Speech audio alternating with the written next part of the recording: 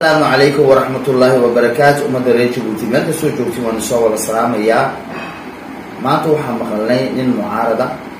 oo ka hadlayay situationka jabuuti oo somalilan joogay. Inay dowladda jabuuti weydiisatay somalilan ina la xidho oona waddankiisa lagu soo cesho marka somalilan waxaan ka leenahay horta ninkaasi waa nin reer jabuutiya expert jibuutia marka waxa weeyaan waxba horta ninku fahmi laadiin calan baan doondoonaynaa wa aqoonsi baan doondoonaynaa iyo ismale ina convention de geneve aad ka soo horjeesatiin convention de geneve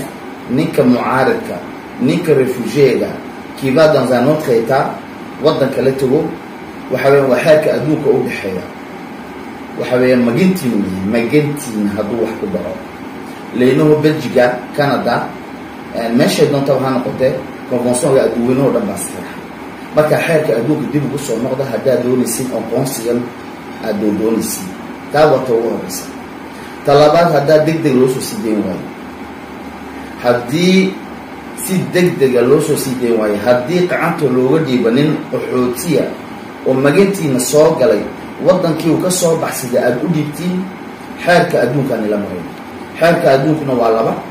waa nations uniga iyo trilbakla e labadaaba xeer nila maraynaa oo anaka nagu gudboon inayna ka hadday wax yar ku dhacaan. Waxaa ummadda reer jabuuti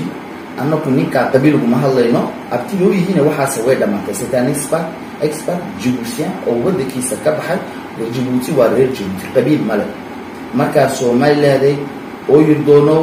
aayar joog. Wasalaamu calaykum waraxmat ullaahi wabarakaatu ummadda reer jabuuti meel kastoo joogto waanu soo